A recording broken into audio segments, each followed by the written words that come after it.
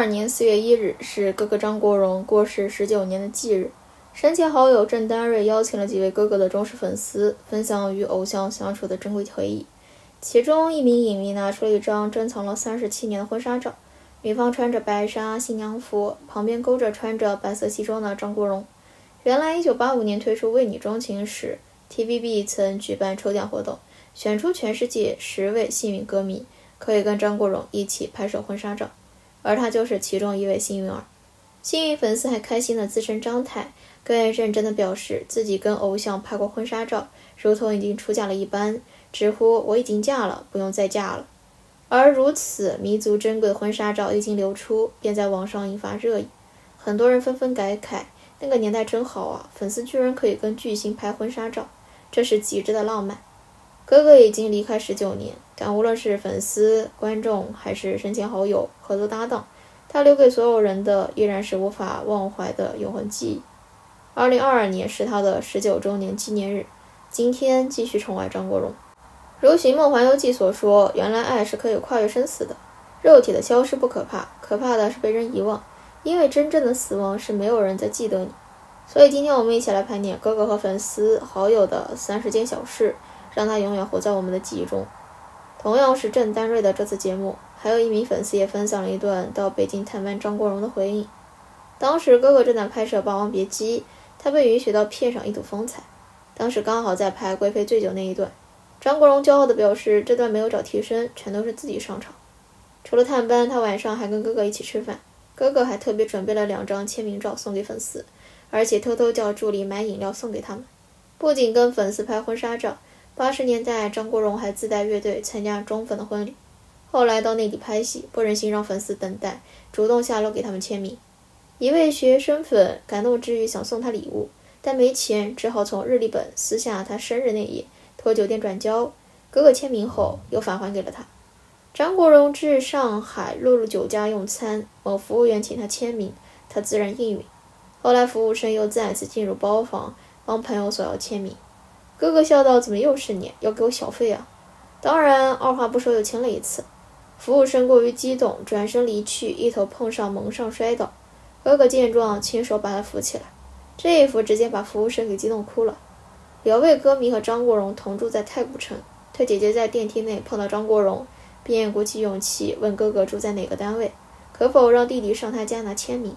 没想到哥哥爽快答应，于是歌迷带上限量发行歌曲上去找他。最初女佣六姐不让歌迷入内，后来只听到哥哥说让他进来吧。多年后，这位歌迷在街上遇见哥哥，上前问他是否还记得自己。他答道：“我当然记得你啦，你知道吗？你是唯一一位能够入我家去签名的歌迷。”张国荣的记忆力就是这么惊人。八十年代有位女粉丝找张国荣要签名，于是把英文名也改了。九六年哥哥复出签名会，这个女孩已经改名了。她请哥哥签上自己的英文名，哥哥写完后坏坏一笑。一位八岁的小荣迷路上偶遇哥哥，想过去要签名，冲上去大喊：“我好中意你！”哥哥身边的朋友笑着问他：“小家伙，你中意哥哥哪里？”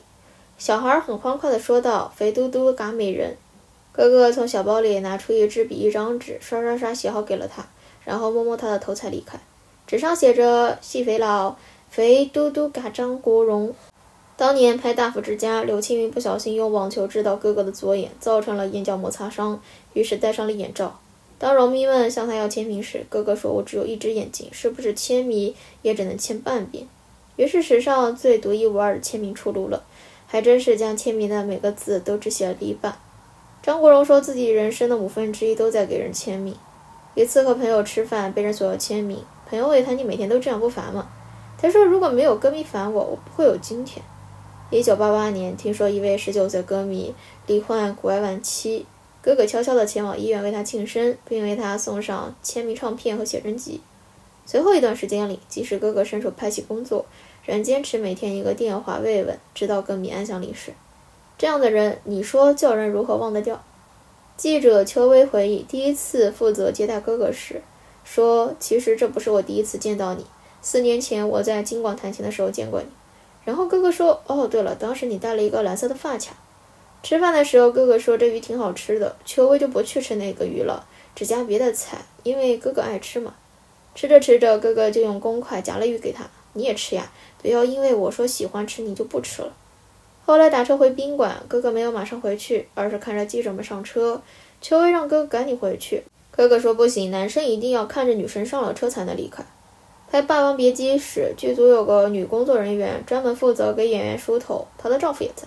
某天夫妻吵架，丈夫动手打了妻子，本是常事，全剧组人都懒得搭理。只见哥哥说了一句：“导演停一下。”然后他把那对夫妇叫过来，用不流利的普通话说：“任何人都不能打女人的。”一位五星级酒店的侍应生说：“那是哥哥和唐生几乎每天到那里吃饭饮茶。哥哥记得那里每个工作人员的名字，每年还亲手将红包放到他们手上。有时候漏单了，哥哥点的菜很久没有上，他从来不发脾气，也从不会说是侍应生的错。”哥哥第一次与影迷共进晚餐，对影迷的好奇知无不言。影迷问什么，他就老老实实答什么，还自我招供了很多隐私，比如最怕会飞的蟑螂，喜欢吃各种水果，吃洋葱会过敏，没近视但有散光，常常会得罪人，因为看不清对方是谁。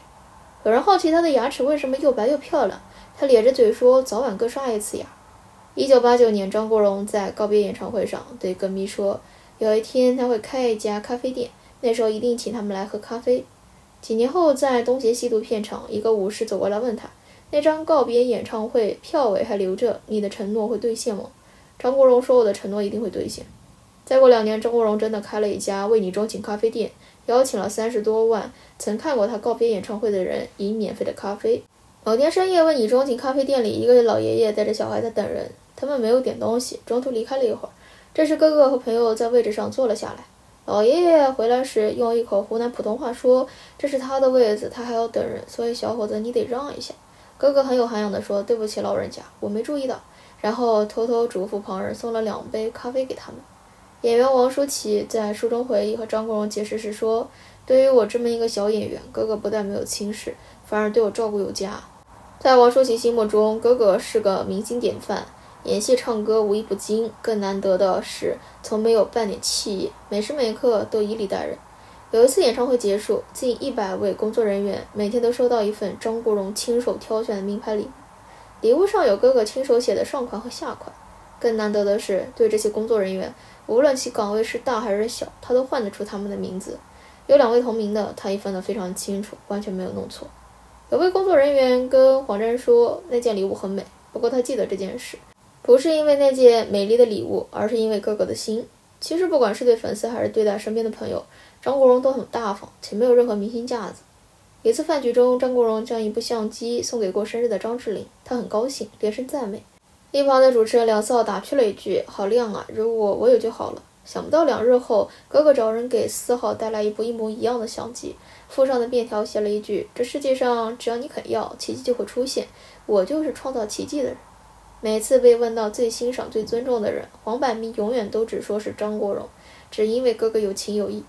黄老板不止一次念叨，请哥哥拍戏真省钱，需要客串二话没说，从不收钱；需要哥哥挑大梁也没问题，只要扮个苦瓜脸向他哭哭穷，说些最近日子难过之类的话，哥哥大手一挥，片酬打折，给个茶包就打发了。拍《九二家有喜事》时，周星驰要价很高，预算不够。而张国荣为感激黄百鸣放他拍《霸王别姬》，主动提出来片酬只收取友情价。外出宣传，这些黄老板最有感触，说周润发宣传只带一个人，就是发嫂。哥哥更狠，宣传就他自己，一个人都不带。都知道黎明是张国荣迷，凡有哥哥的碟上市他就买。黎明讲起哥哥时说，他欠我三千块，他的财产内有三千块是我黎明奉献的。有一次，哥哥逗他说：“甜蜜蜜，我买了五十块，要不要在那个三千块里面扣除呀？扣除了，我就只欠他二千九百五十块了。”张国荣是送礼狂魔，在他家，只要谁看上什么东西，他都会说中意的话就拿走。梅婷在中戏就曾与哥哥合作《红色恋人》，当时他送了梅婷一副价值不菲的墨镜，令同班的章子怡羡慕不已。在梅婷眼里，张国荣就像一个亲切的大哥哥。有次去香港，梅婷就住他家，他就送了梅婷一套完整的唱片，可他居然把那套唱片落在了哥哥家里，为此后悔不已。偶尔哥哥也会撒娇索要礼物，有次他问陶晶莹：“你要送我什么？”小谭哪料到他要来这招，就唬他说已经买了。他还说：“别骗我啊，骗我就不招待你上我家玩。”在陶晶莹看来，哥哥像是一个可爱又骄纵的弟弟，恣意享受着贵族般的待遇，却又不忘给身边的人带来开心和温暖。好了，以上是本期的内容。如果您喜欢我们的节目，欢迎订阅、点赞、转发，感谢大家的支持。